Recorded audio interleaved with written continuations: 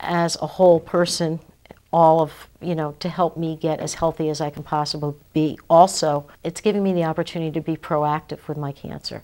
I feel like as a team, we're taking charge and uh, that we are fighting the disease together versus just waiting for things to grow and have a surgery or chemo or something.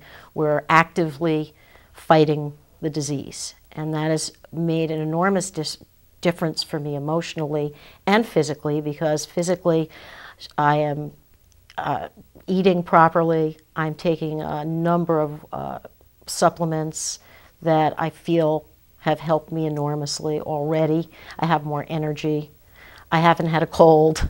Um, it's just in every way. And then emotionally, which is really a, a big piece, I feel like I'm taking charge and um, doing something to help myself uh, versus sitting back and waiting. And it's been really, really wonderful for me.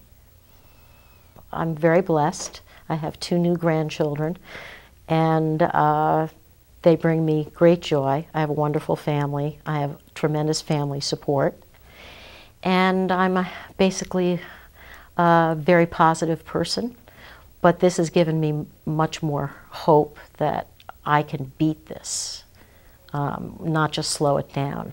I think that we're going to find some incredible results when I go for my scans at Sloan Kettering. My next one will be the end of March, and Dr. Altshuler and I believe that there will be probably a, a slowing down of the numbers. And I really do believe that.